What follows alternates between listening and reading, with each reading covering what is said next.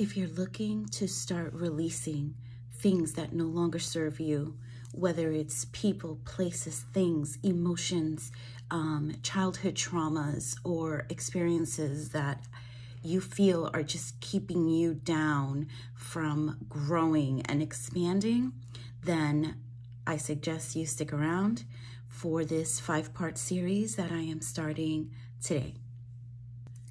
So for the first thing that we're gonna do is I want you to get paper and pen. And I want you to just focus on three things, three, whether it's people, again, an emotion that you wanna let go of, um, or just a trauma that you experienced, I want you to write them down.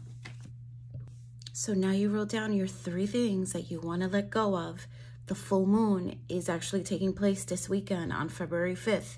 So everything that we start from today, January 31st, we're going to continue building upon this list until February 5th. I don't know if that's Saturday or Sunday, but it doesn't matter. So put down in the chat below, count me in, and I will be sending you distant healing, uh, Reiki, just so that you can start disconnecting from those energies and just start releasing.